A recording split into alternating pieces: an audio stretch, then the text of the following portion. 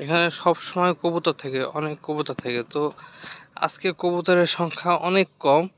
অন্যান্য দিন এই জায়গাটা একবারে পুরো ভরা থাকে। হয়তো আজকে খাবার কম আছে। কবুতর আশেপাশে গেছে, কিন্তু অনেক জায়গাটা দেখতে ভালো লাগে, বিশেষ করে কবুতরের জন্য।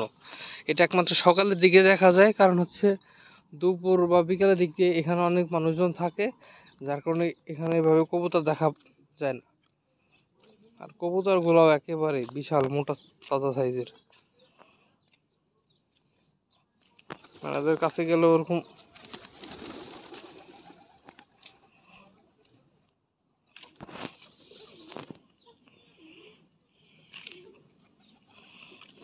দেখতে অনেক ভালো লাগে কবুতর। এটা কোনো, এগুলো কোনো পার্সোনাল কারও কবুতর না জাস্ট এখানকার মানুষ। এই দেশের কবুতর বলা যায় এগুলা।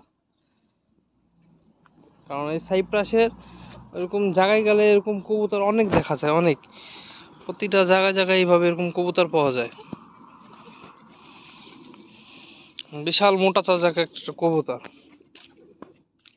এগুলো হয়তো সব এক জাতের, আমি অন্য পাশে যে আরও ভালো ভালো মানে কবুতরের তো অনেক সাইজ মানে মডেল হয় অনেক ইয়া হয়, ওরকম জাতেরও কবুতর দেখছি, ঠিক এরকম ঝাঁকে ঝাঁকে কবুতর দেখছি। এখন একটা জোর দেয় এগুলো যখন উড়ে যায় দেখতে খুব ভালো লাগে। কিন্তু এরা বেশি দূর উড়ে যাবে না, কারণ আমি যে হাঁটাহাঁটি করতেছি, এরা আমার আশেপাশে দিয়ে আছে। চাইলে এদেরকে এসে ধরা যায়। এরা ওইভাবে উড়ে যাবে না। এখন আছি সমুদ্র পার সকালে। এখন বাজে হচ্ছে এখানে সাড়ে পাঁচটা বাজে। মানুষ নাই তেমন। সবাই যাও এখন, টুকটাক দেখা যাবে, এরা কাজে বের হবে। যদিও আজকে কেউ বের হবে না, কারণ আজকে ঈদের দিন। আজকে সমুদ্র একেবারে ঠান্ডা একেবারে ঠান্ডা, কোনো স্রোত নেই সমুদ্রে। পানি একেবারে পরিষ্কার, টলটল, একবারে পানির নিচের পাথরও পর্যন্ত দেখা যায় এখানে। আমি এখন যেখানে আছি, এটা হচ্ছে পর্যটক এরিয়া। তার সামনে যে একটা হোটেল, এটা হচ্ছে ক্যাসিনো। ওই টিভিতে যারা যে দেখে জুয়া টুয়া খেলে, টাকা লাগায়, দ্বিগুণ হয়ে যায়, এটা হচ্ছে সেইটা।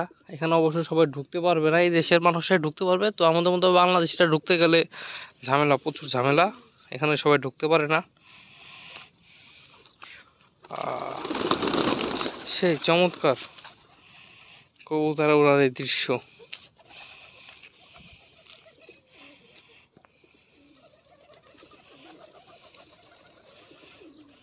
খাবার খাচ্ছে এরা। রাত্রে খাবার দিয়ে যায় মানুষ।